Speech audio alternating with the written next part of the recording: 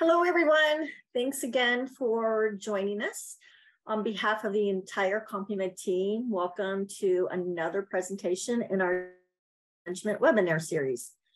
The topic today, kidney pathology, has been our most requested subject matter from all of the surveys we get from all of you.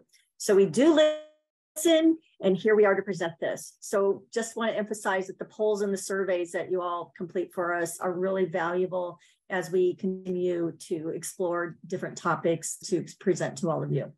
So today we are really thrilled to have Dr. Mohamed El Hag to share his expert insight about kidney pathology and the importance of having a renal pathology specialist reading the studies. Dr. El Hag is certified pathologist with extensive experience in pathology. As you read in all the invites, he's highly published and very passionate about this topic. So I'm just going to let him take it away. Thanks, Dr. El Hag. We're excited. Thank you, Laura, for the introduction. And let me share my screen here. Let me just go back. And again, you know, greetings, everybody. And thank you for joining us today for this talk on kidney transplantation pathologist.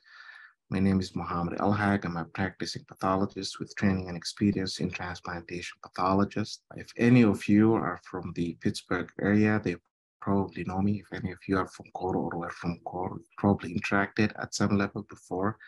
What we, do when I was in Pittsburgh, we used to do high volume kidney transplantation donor evaluation, and we used digital technology as well as other technologies and methods for evaluating kidney, liver, as well as other biopsies from potential organ donors.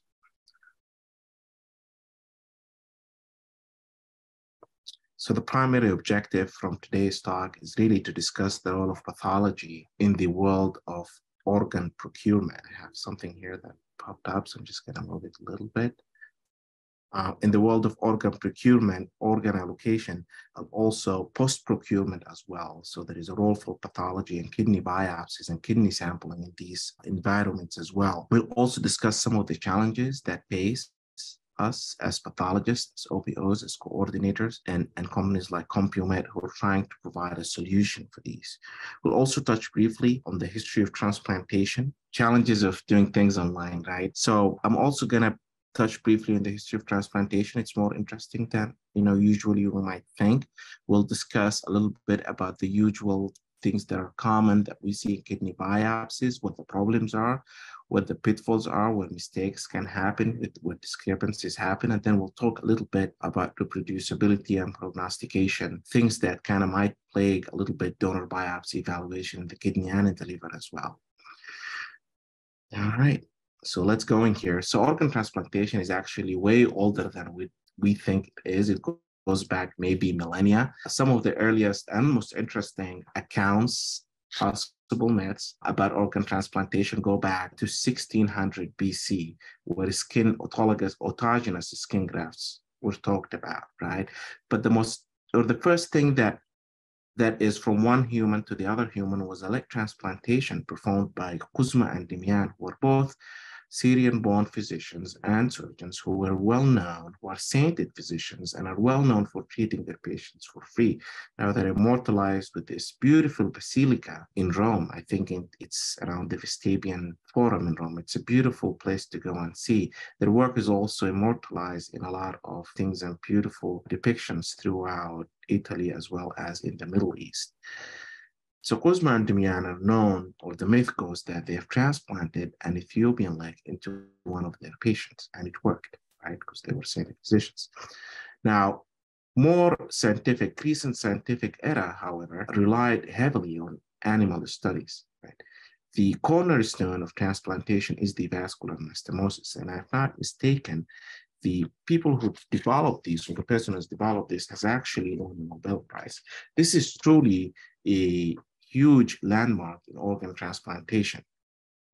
That is all followed by a lot of xenotransplantation experiments of taking one organ from one animal to another animal, from an animal to a human. Xenotransplantation has, of course, failed throughout and continues to be a challenge to perform. Most recent, I think, well documented is a heart that has been beating for around a month, I think, in the University of Maryland, and that was xenotransplantation but after a month, that heart has failed. So we're still not successful with that. So we only rely now on human to human transplantation, as well as, of course, there is a future for artificial organs. The first human to human transplantation in the modern era has been performed by Dr. Voronoy in Russia, and that was a deceased kidney donor from one deceased kidney donor into a recipient. Now, this was done across ABO barriers. And at the time, I don't think they had a full grasp of the immunology underlying successful transplantation course, that transplantation procedure has failed. The first successful transplantation was a kidney, and that was done in around 1954 in Boston by Dr. Joe Murray, who passed away about 10 years ago, if I'm not mistaken. So what he did was he took a, a, a living donor, a twin, an identical twin, and transplanted the kidney from one identical twin to the other. Of course, there are no immunological barriers to this procedure the procedural part of it, the vascular anastomosis, the, the, the surgical parts of the procedures have been perfected for many years. Of course, there's always there has always been room for more perfection, for more difficult procedures, but the surgical part of it has been perfected. And now, with identical twins who are very similar genetically, this organ has actually found the function for many, many, many years. Now, this has given us insight that there are mismatches between donors and between recipients that we need to be on the lookout for. Of course, ABO blood grouping is the first barrier to transplantation. But even in this day and age, we have ways across this transplantation in order to increase the, the uh, donor pool and allow the sickest to get organs first. In the 1960s, a giant of a man by the name of Thomas Starzl entered the field. He was one of the few to first describe chemical immune suppression by adding prednisone to his protocols. Prior to that, very aggressive protocols that included whole body irradiation, usually of the donors, have been tried. They have failed miserably, of course, in some cases. In others, they have worked, so the descriptions are still there. But prednisone and other forms of chemical immune suppression have been introduced, and they have shown success. And he's shown tremendous success in explaining to the world the importance of, of immunology in the world of organ transplantation. And he has been able to fundamentally change the field.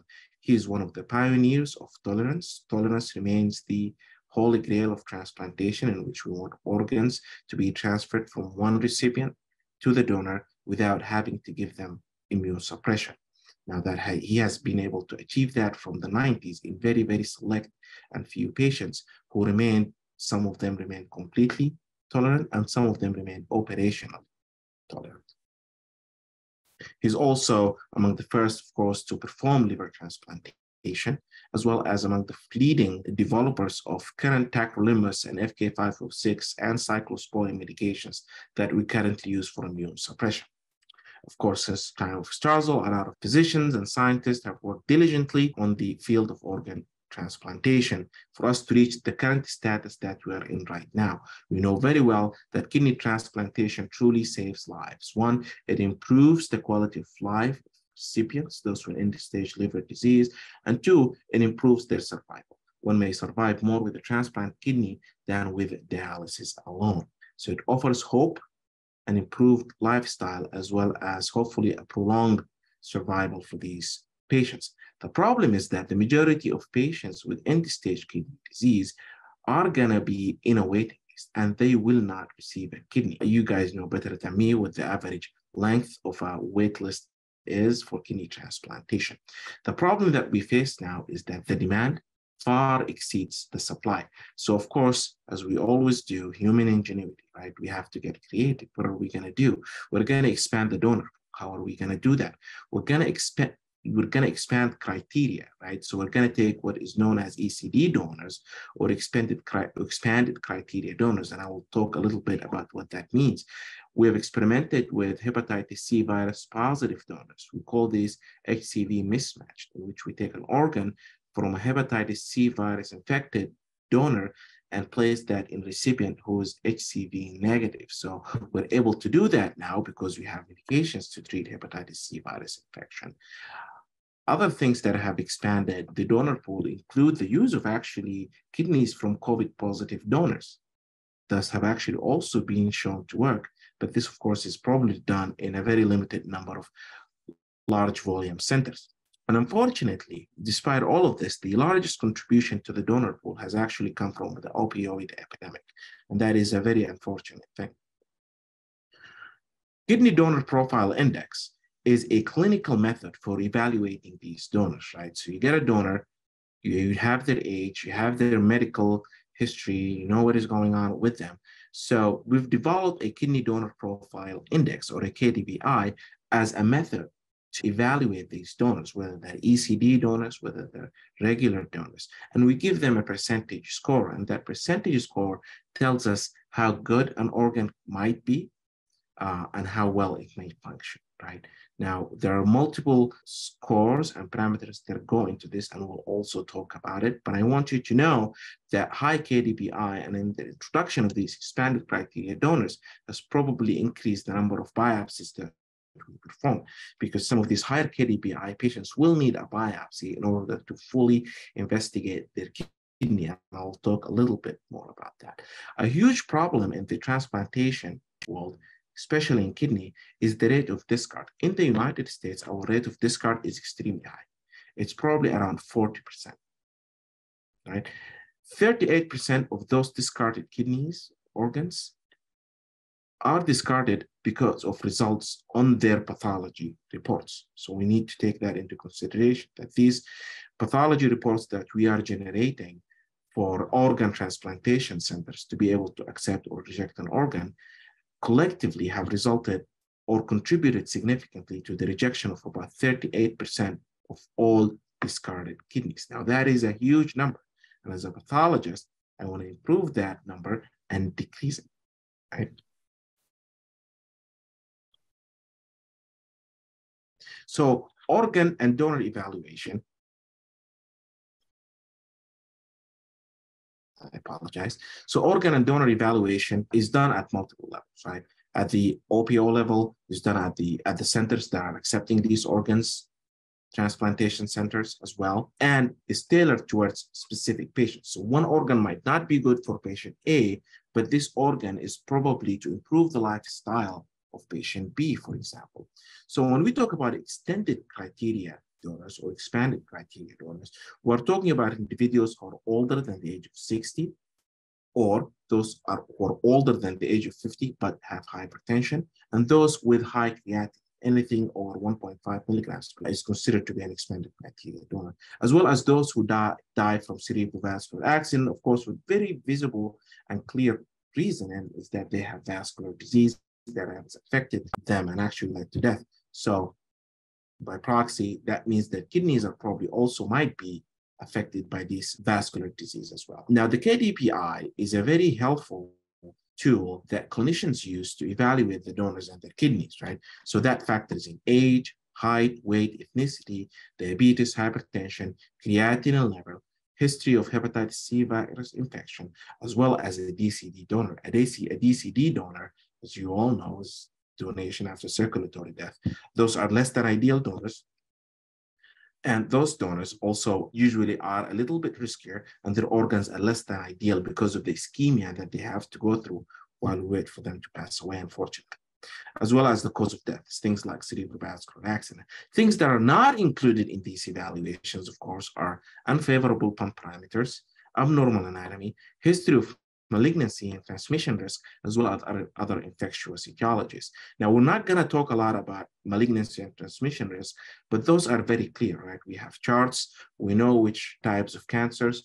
We would never touch the patient. The patient is just not considered a donor, and what type of cancers that we allow a certain time to elapse before we accept them as donors these are clear and we can and this can be a subject of talk for other presentations as well if clarity is felt to be needed in these.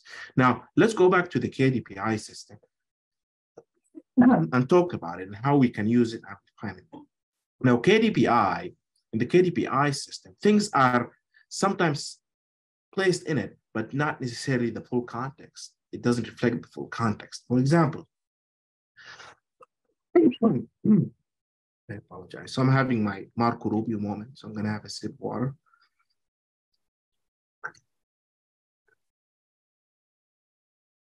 An African American donor, for example, will have a, an increase in their KDPI by 17%, percent, irrespective of other risk factors.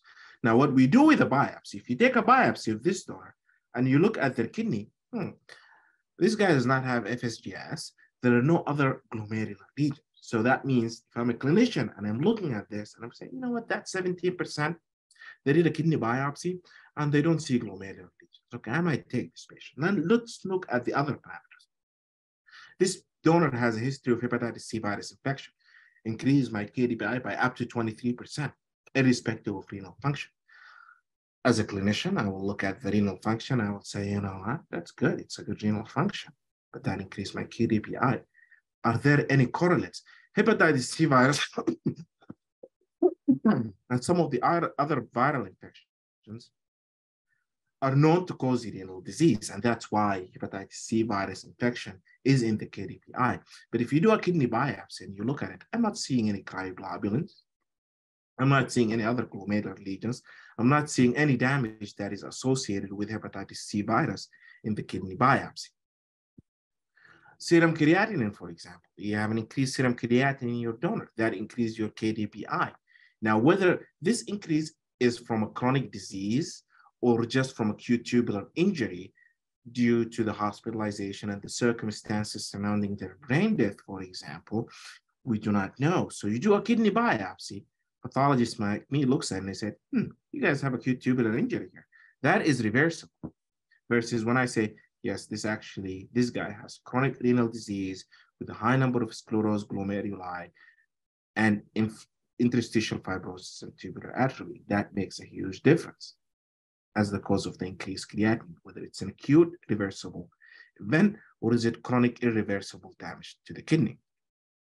Other factors that we can see as well and help in kidney biopsies that are factored into the KDPI include things like diabetes mellitus, hypertension, and other chronic diseases, which we can also see on kidney biopsy. So we can diagnose hypertensive nephropathy, we can diagnose diabetic nephropathy. And I will show you guys some images and how we do this and what that looks on a donor kidney biopsy. Now, biopsies in general, we call them procurement biopsies. They can also be called donor biopsies, but for us, let's call them procurement biopsies. Roughly 50% of donors will get a kidney biopsy.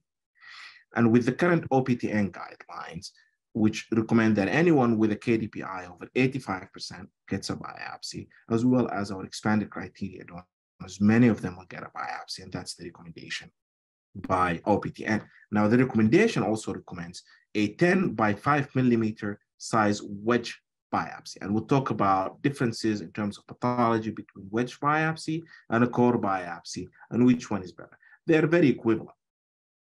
The wedge gives you more information in certain things. The core is the core gives you more information in other certain things. I personally love the wedge biopsy. They're harder to read for a pathologist, but it always gives us consistently gives us a decent number of glomeruli that we can look at and allow us to really look at interstitial fibrosis and glomerular and, and tubular atrophy. Now, all of these factors will definitely increase the number of performed apps. So the need is for certain things. One, these are done in non-ideal circumstances, right? What's ideal? You're in time crunch. Everyone wants the results. Everyone wants to place the kidneys, right? You're getting wedge biopsies some pathologists might not like them. You're overrepresenting definitely in these wedge biopsies, things like glomerulosclerosis, because maybe your biopsy is something that is scarred. You're doing a frozen section, which is full of artifacts and is a lot harder to read than a regular pathology section. The quality is just different. There is no question. You show a pathologist a section that's a permanent or well-processed section versus a frozen section, will always be able to tell the difference. We don't even need to look at it under the microscope. We can just look at the slides and we can definitely tell the difference. We're only relying on H&E that is performed manually rather than a one hour process to perform a proper H&E stain, as well as a number of other specialty stains like silver stains, PASs, and trichromes. You're asking a pathologist to read it at the middle of the night, kidney transplantation. You always need somebody at night to read these bi biopsies. Many times it's an all pathologists. Some of them may or may not have a special training in kidney pathologists. They might not even know the, the important parameters to, to be reported in these. Of course, those tra trained in kidney pathology are very good at reading these biopsies and will be able to give you consistent, consistent results all the time.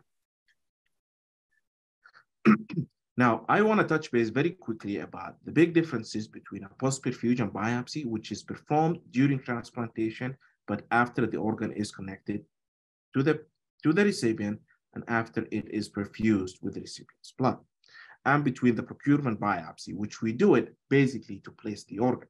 So there is no room, there is no way we can do a post-perfusion biopsy and place the organ. Usually it's done after that. But I want you to know the differences. And the differences are big. The procurement biopsies are always wedge biopsies. Most of the time are wedge biopsies. These are the popular type of biopsies, and we can suture that area very nicely and neatly, no bleeding. Needle biopsies are performed for post-perfusion biopsy. We freeze our procurement biopsy. We do a single stain, and depending on where it's done and who's reading it, the reporting parameters are very different. There are some centers that will only report a total number of global glomerulosclerosis versus the total number of glomeruli, and they will not report any? Of course, there is always the availability of an expert pathologist to review these once they are scanned in, through a whole a slide image scanner, but that is also not available everywhere. Post-perfusion biopsies are always read, almost read by exclusively well-trained kidney pathologists, usually with renal pathology fellowship training, as well as multiple years of experience in some cases. The reported elements are standardized by BANFF. Everybody does the same exact report.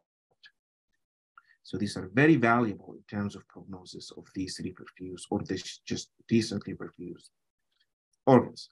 Now, let's talk about pathology findings in these biopsies. Let's see what we're looking for as a pathologist, what the images look like, what glomeruli look like, what different compartments look like.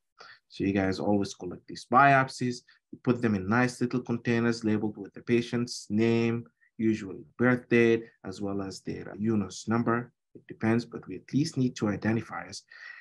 Do not place them in saline Feel free to place them in a University of Wisconsin preservative, for example, or any other organ preservative, but not saline, because saline creates a lot of artifacts, which make it very hard to, because we freeze the tissue, makes it very hard to actually evaluate these organs. Now we use this machine. This is called a cryostat. It freezes the tissue, and then through really fine microtome blades, we're able to cut them, generate slides, that we use a microscope to look at them. Now,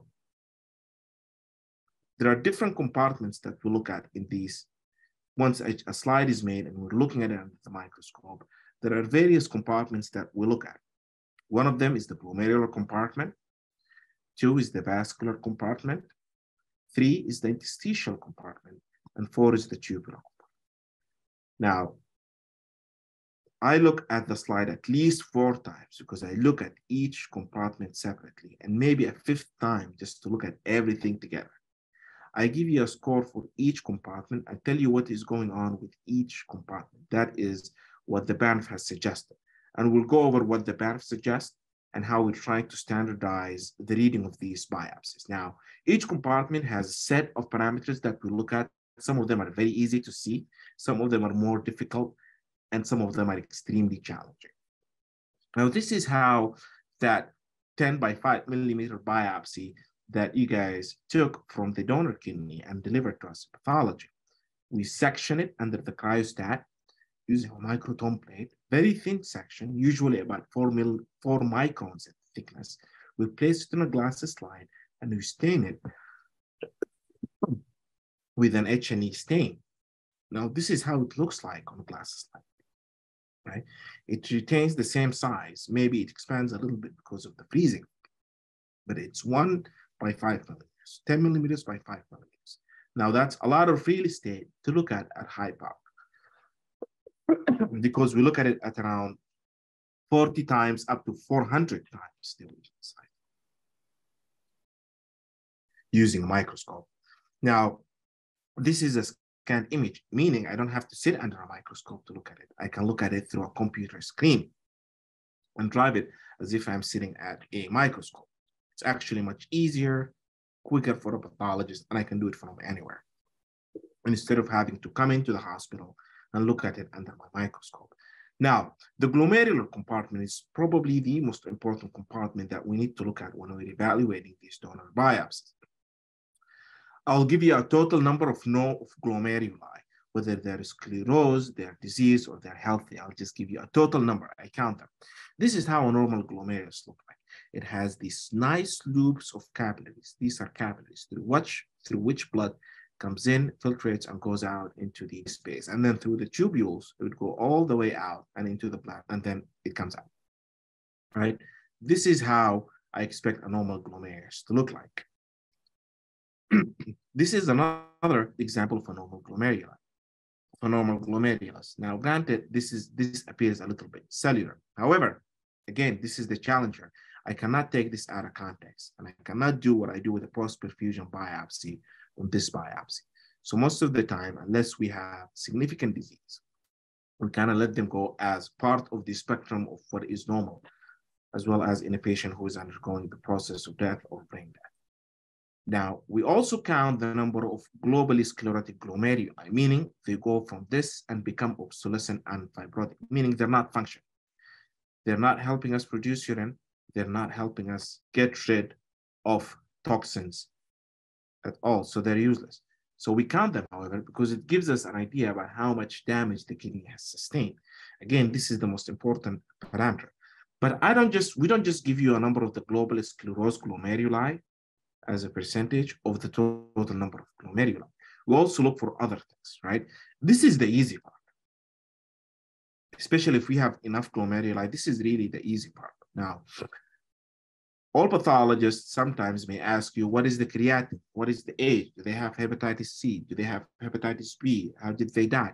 We ask these questions because we want to cheat a little bit. We want to know what to look for very carefully, right?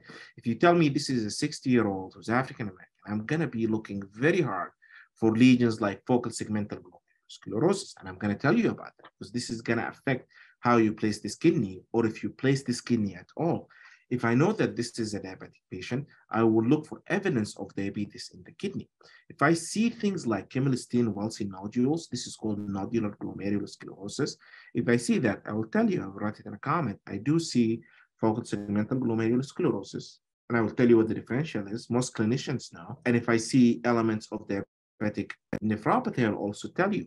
Most of the time when we see KW diabetic lesions or someone with a known history of diabetes and we verify that on the biopsy, most of the time that's not the most perfect biopsy to give to somebody who can afford to wait a little bit longer, who is who is younger and we can expect to keep that kidney for many, many, many years, right? If it's a functioning kidney, I might give it to somebody else in the donor list, or it might end up being discarded. Other lesions that we look for are things like glomerular thrombi now, as well as necrosis and other lesions of activity, right? So glomerular thrombi are important hmm, because you know it, it, just it's occluding these capillaries. So these glomeruli are not functioning at 100%. We take we need to take that into consideration. Usually we see that in the context sometimes of head trauma. So if you hear me asking you, oh, how did this patient die? They have head trauma. That means maybe I'm looking to see if there are thrombi. Usually the cutoff is about 10 to 20%. So anything less than 10 or 20%, usually most of the time we don't you know, they clear out, that is fine. But once you see it, it's widespread, then, you know, the decision becomes a little bit more difficult because the kidney might not actually work once it's transplanted. Now, this is one of the more challenging things when it comes to glomeruli. The easiest thing in the glomerular compartment is really the count of what is globally sclerosed versus what's not sclerosed. Now, the vascular compartment is also challenging. We give you a score based on the percentage of atherosclerosis involving the most significantly affected artery. So I'm looking for the most significantly affected artery and I'm scoring it, meaning if it's occluded by only less than 10%, I'm gonna call it mild atherosclerosis. If it's more, less than 50%, but maybe more than 10%, 25%, maybe I'll call that moderate atherosclerosis. Now, things that are completely occluded or occluded more than 50%, we call those severe atherosclerosis. Now, this is not as easy as it appears because these arteries are tubular structures. And if we cut it this way or this way or tangentially, it will look weird and it will be very hard to tell if this is mild, moderate, or if there is any disease at all. So you need a certain level of expertise in order to figure these weird cut arteries. now, arterial hyalinosis is one of the most difficult things to appreciate on a frozen section, mainly small arterioles entering or leaving the glomeruli. They're very hard to find and locate because again, that you have to get that perfect section in order to see them. And the other thing is that the frozen artifact makes it very hard to see. If I see one arteriole with hyaline, that's by definition mild arterial hyalinosis. If I start to see more, I'll get into moderate and severe. Now, these things do not occur in isolation. If I'm seeing severe arterial sclerosis or hyalinosis, that means there is an element of vascular arterial disease as well. So it's probably moderate arteriosclerosis. That also means my, my glomeruli are going to be affected. So all of these things, elements are going to move together. They're going to get severe together. We're going to lose them together, right? So you're not going to find 100% glomeruli, but severe vascular disease unless the biopsy is not the best, right? Or it's not representing everything. Interstitial compartment, we look for a number of things. One is the interstitial inflammation, but it's not a major determinant of graft function. We'll talk about that. But the most important thing is chronicity, meaning interstitial fibrosis. Now, this is very challenging because in frozen sections, we introduce this space in the interstitium, which can be edema and artifact, which can make it very hard to identify interstitial fibrosis. The other problem with interstitial fibrosis, it's really very overemphasized and presented on which biopsy. Sometimes there are subcapsular scars in kidneys that are otherwise perfectly well and function really well. And if we do a core biopsy and we see deeper, maybe the fibrosis are minimal or non-existent. But when you only look at a scarred area under the capsule, I might tell you it's severe. Remember, I'm not looking at the whole kidney. I'm looking at that one centimeter piece from under the capsule that might actually have been scarred, and that's why it was biopsied because of that little scar.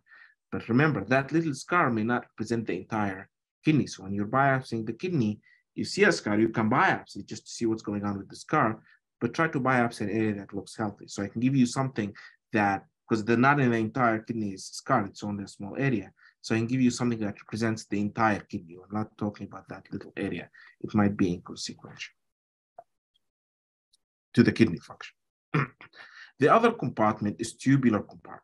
Now, there are two things in the tubular compartment, acute changes and chronic changes. Now, tubular atrophy is a chronic change. It goes hand in hand usually with interstitial fibrosis.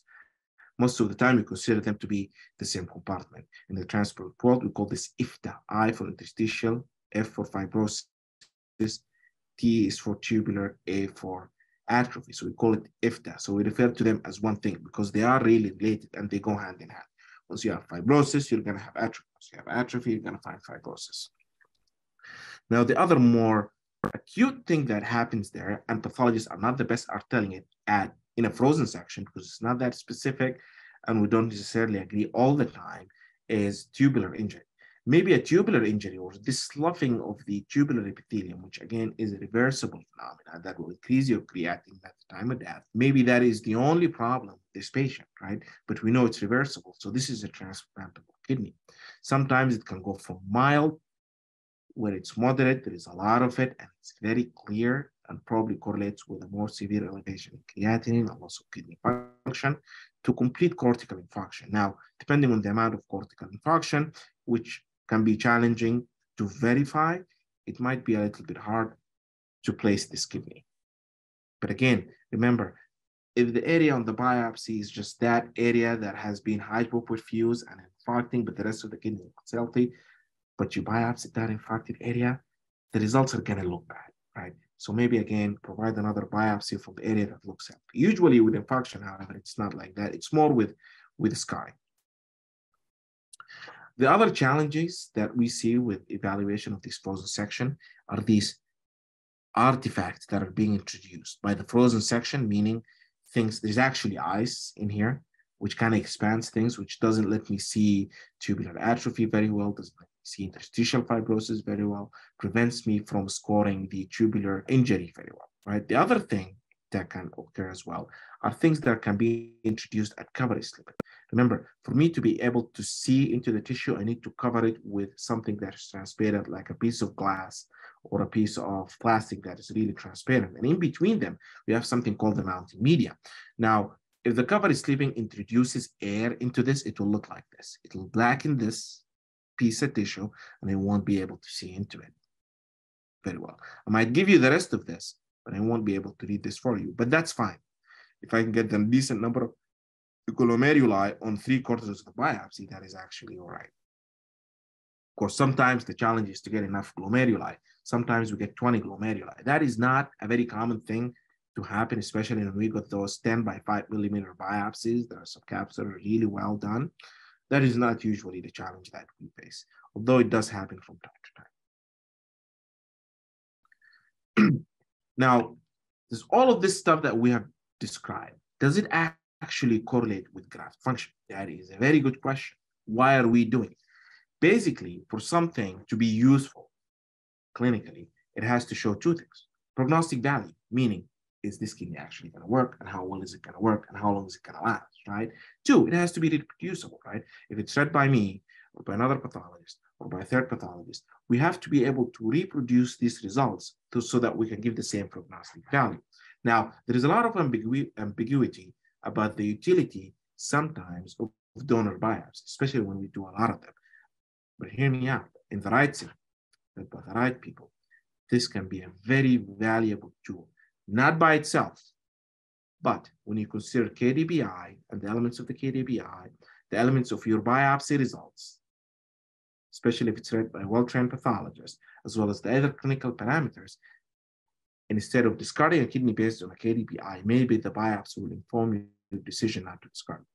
But maybe the biopsy will also tell you, hey, this kidney isn't really good. It needs to be discarded, or maybe it needs to be allocated to somebody else who might take a couple of years out of it but they're also really sick and they really need it. Right? So there's a lot of ambiguity. There's a number of studies out there. The methodologies have been different, the sample sizes have been different, and the sampling variability has been. But the most important elements that have always been determinants of prognosis between different various studies has been global glomerulosclerosis as a percentage of the total number of glomeruli, interstitial fibrosis and its brother, tubular atrophy, as well as the presence or lack of the presence of vascular disease. Now, many centers rely only on the global glomerulosclerosis. Other might look at other parameters. There are other centers who have done a very smart thing, which is we're not going to look at global glomerulosclerosis alone. We're not going to look at IFTA alone. We're going to combine them, the three of them, or even show you some really creative examples. Create a score that will give us the sum of all of these chronic parameters is much more helpful than using one. And I'll show you very good examples here. Now, we know very well that these procurement biopsies, the results have been ambiguous, but we'll cl clarify it out in a little bit. But compared to post-perfusion biopsies, which consistently show correlation with how the kidney function. Now, we want to do that as well with procurement biopsy. But we have to do it the same way that we do post-perfusion biopsy, meaning standardization and the people who look at these biopsies, right? That way you will get reproducibility as well as prognostic value.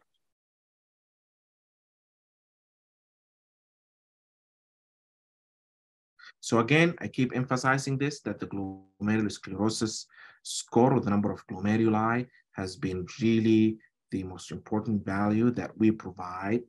Uh, usually the cutoff value is 20%, but of course that can be revisited and that can change from one center to the other. You have to remember that these were these cutoffs were developed many, many years ago. And I would remind you that in some of the original studies, the eight cases, the eight biopsies that showed more than 20% and that were transplanted, only three of them lost their kidneys without, within three months. That means those other six patients who might not get these kidneys because there is a greater than 20% glomerulosclerosis, many of these can be transplanted and some of these kidneys can actually benefit. Now, what a nice group did in Spain was they said, okay, we're not gonna rely on a single parameter, right? We're gonna get all of these parameters. GS means global sclerosis. CI is a chronic interstitial fibrosis. CT is our chronic tubular atrophy as well as our arteriosclerosis, which is referred to as CV, as well, our, arteriolar hyalinosis, we're gonna combine them together and we're gonna form a score. And based on that score, they were able to lower their discard rate from 11.5% successfully to only 5.5%, right? Now, to start with, Europeans have a lower discard rate for many reasons that, you know, we can discuss later, but they do have a much lower, significantly lower discard rate than we do. But remember, the US is very high volume when it comes to transplantation. We transplant more than many of these other European countries. Now, the Banff working group, and I know we're getting towards the end of our time, so I'm going to just make this very quick. The Banff working group has been working very hard to try and replicate their success in post-perfusion biopsies to procurement biopsies. Now they have come with donor biopsy scoring sheets, which is basically, I think now many of the OPOs are adopting, and many of the complement OPOs are also adopting, or a variation of these. Basically, the total number of glomeruli, the extent of glomerulosclerosis, as well as the percentage which can be calculated from these, as well as the number of arteries. Now we need the number of arteries because it gives us an idea about how good these biopsies are, right? This is more of a, you know, is it an optimal biopsy? How good is the biopsy kind of question. The number of arteries will give you that parameter, right? And you'll be able to compare them, different biopsy results to different biopsy results and figure out what is a good biopsy versus what is a suboptimal biopsy. Now, the other parameters that are being scored, we all talked about, things like interstitial fibrosis, tubular atrophy, interstitial inflammation, which we said is not an important parameter. It doesn't really correlate with graft function, but is important to put in context of the whole organ, right, that we're transplanting. Things that are chronicity, like arterial intimal fibrosis, arteriolar hyalinosis, as well as necrosis, the number of glomeruli or thrombi, right, glomerular thrombosis. I always comment on presence of other things like Kimmelstiel-Wilson nodule. If there's something that looks like a small tumor, I need to let you know if I see it. Things like focal segmental sclerosis. Now, the Banff group since 2010 has met multiple times, right? They've done a beautiful study that is published out in the American Journal of Transplantation in 2017. And in addition to providing us with this, they gave us context. They told us how reproducible the results are, right? Now, this study was done using only experienced and well-trained transplantation or kidney transplantation pathologists. Now, the things, let's talk about this graph on the left side. So basically here, we're comparing the interclass correlation between different pathologists to biopsies that were read through frozen section and paraffin tissue right? So paraffin tissue will always, paraffin means it has gone through the regular processing. We have gotten rid of different artifacts. This is your classic way of doing pathology, which it probably takes many, many hours for us to be able to generate a slide to read. We do not have that luxury in the transplantation world, so we have to do the frozen section. Now, what is relevant to us here is are the bars in green, which are based on frozen section. You can see that we're very good at getting a consistent count glomeruli, right? Between me and my other colleagues, the other colleagues, right? We're good at telling you the percentage of glomeruli that are globally sclerosed as a percentage, of course, of the other glomeruli. But what are we bad at? We're bad at arteriolar hyalinosis, which can be part of a scoring system, which kind of gives us a good idea about chronicity of a, of a kidney disease. We're also really bad at scoring tubular injury. Of course, we're better at these things when we do it by paraffin tissue. But even in paraffin tissue, we're not extremely concordant with each other, right? Now, they didn't just stop there. They also did something very unique to answer the question of what is better, a wedge biopsy or a core biopsy, right? So in a core biopsy, it's a thin thing. I can go from right to left, and I know I'm not going to look at the same area more than once. In a wedge biopsy, I might look at an area more than once. So counting glomeruli, and this is really reflected in their data, is so much easier to do on a core biopsy. And because we're going on a straight line, usually from right to left or from top to bottom, and we're not recounting the same glomeruli in a core biopsy, the correlation between different pathologies is phenomenal. It is less, of course, it's still good, but it's less on the wedge biopsy.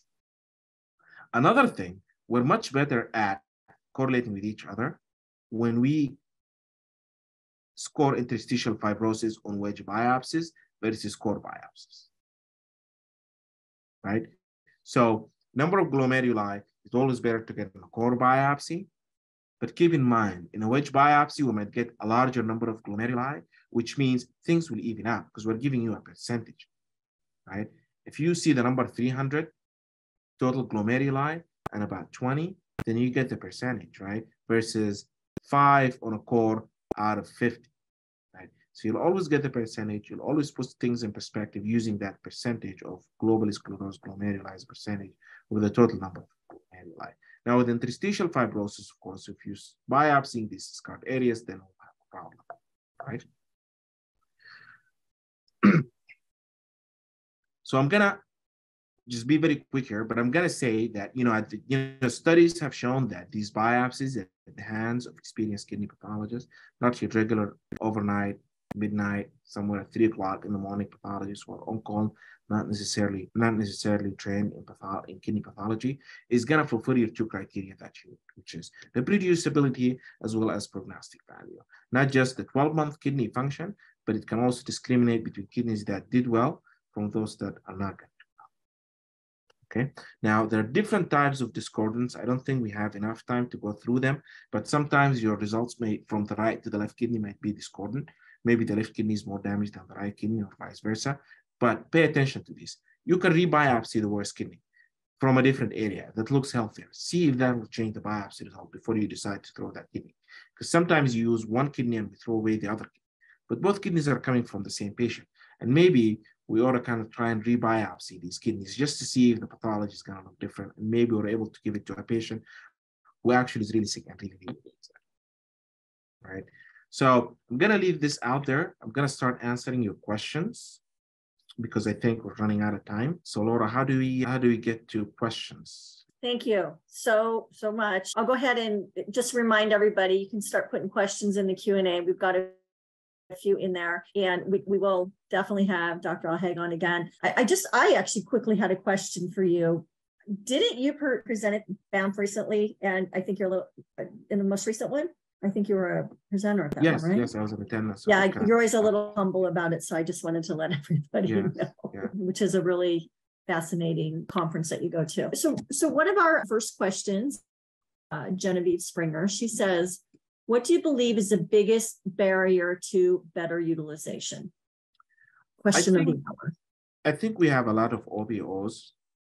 I think, which is a good thing, by the way, because the US is a huge country, right? I think we utilize a lot more organs than our European counterparts. And I think we, we're very good at it, but we're not as efficient. I think efficiency needs to improve. We need to be able to utilize a lot more organs. I think, one, we need to expand the donor pool right? We need to convince as many people as possible to become organ donors, right? Because then we can have the luxury of saying, hey, this is a really bad kidney, this is a really bad liver, we cannot use it, right? Two, I think practices are different from one transplant sec- center to the next transplant center, from one transplant zone or OPO to another, from one UNOS region to another. I think these are not uniform. It's very hard to make practices uniform for so many reasons.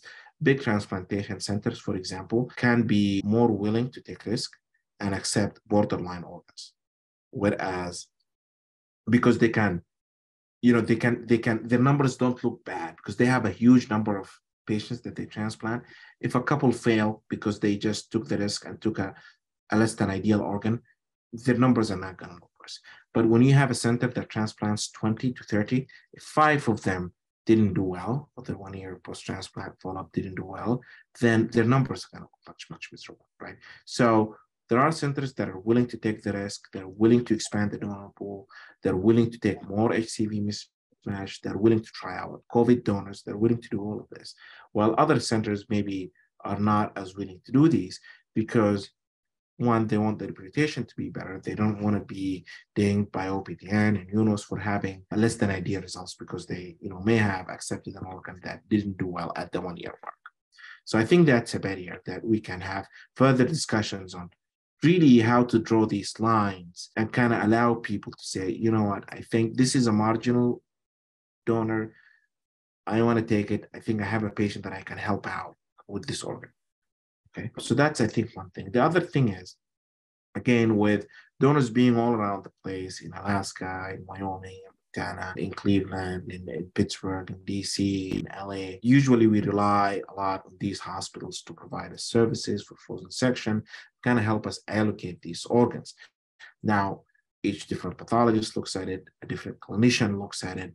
It's not centralized, meaning the discrepancy, or I wouldn't call it discrepancy, but the inter the observations are going to be discrepant or they're going to be discordant, meaning they're not going to be translatable. They're not reproducible, meaning one one clinician, one pathologist, and a clinician pair will look at it and say this is a horrible organ. Then we'll go somewhere else and they say this is a this is a good organ. I think a recent example. This is liver, not kidney. We got a local read of about sixty or seventy percent steatosis. Do you remember? Right? It was a high read with which makes yeah. it a really bad organ. Nobody would want to transplant this organ. Clinician called us. We looked at it. We said, no, this is at max 15% steatosis. Now, and that correlated with the clinician said, because the clinician said this organ doesn't really look bad. It's just a different age group, extended criteria. I wanted to make sure that there is no huge red flags, but we got this read, which doesn't really correlate with what we're seeing. So yes, I can share the paper from Spain. Let's go back. Oh, here, yeah. Let's let's actually let's do this one. So so this one's from Nicholas Onaka this is a, a, a, very clinical. How do we manage arteriosclerosis? He says he feels it's underread and frozen, and even looking at the frozen. He often reads more of it than the pathologist. What is moderate on your slide looks more severe to me based on the ratio of open lumen versus total.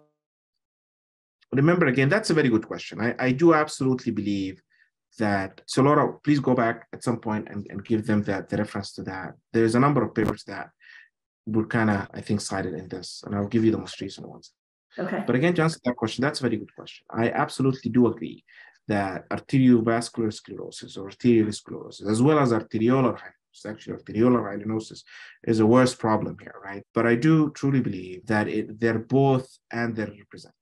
Not everybody reads them. Not everybody's going to give you the, the, results, a correct result on arteriosclerosis or arteriosclerosis. Again, there are parameters I mean, here Banff, and I'll show you the Banff paper, which kind of, let's go back, which kind of kind of lays out exactly what these are and how they're evaluated. Mm. But remember again, most we, we evaluate at the worst artery, and we talk about arterial intimal sclerosis, less than 25%, between 26 to 25% of the lumen. You have to remember that these arteries are not always cut flush, meaning they're not cut perfectly, they're always cut at an angle. It's very hard to get an artery that was cut 100% the right way, right? It's just not going to happen because of how this tissue is and how the, the anatomy looks like and how histology looks like. So we have to kind of compensate for that tangential section sometimes. So what might look severe if you apply things without the knowledge that the angle affects the amount of arteriosclerosis, that can be a problem. And that is actually one of the big difficulties in assessing arteriosclerosis. I hope that answers the question because what might be mild to me might be moderate to somebody else, and what might be moderate to somebody else might be mild to somebody. You know what I mean? There is a little bit of variability, but most of the time we're very good at detecting severe disease as well as mild disease. That moderate can always become a problem. But to me here, given how this, for example, on this side is less, but is more on this side, I know it wasn't cut perfectly. So for me, more than 50% of the lumen is not involved by disease. So for me, this is moderate. Okay, I'm gonna get one more quick question in. And again, everyone, if you have more questions, you can keep submitting them to us and also on the survey, and we will definitely be having more of these with Dr. Hag. We, we can't thank you enough for your time on this, Dr. Hag. So one other really quick question is, I, I believe you kind of answered this was how to believe the current ecosystem makes the job of transplant surgeons possibly harder than it needs to be? You know, I think there is a lot of demand on organs. There is a lot of attention to the number of discarded organs. There is, again, there is that emphasis on results that we have to deliver always. Mm-hmm. And I think if some of those burdens are lessened on, on transplant centers, they would be more, maybe more willing to maybe you know, of course, with the consent of the patients, maybe a little bit riskier. Of course, you know, there is other issues that include logistics, transportation, differences from one setting to the other, as well as availability of ORs. And that's why I've been a huge proponent of donor care units because that gives you, guarantees you your OR time. You don't have to go in when the hospital says you can go in. Right. And I think that has been a huge goal, and that has been a big reason and a good reason to have donor care units, for example.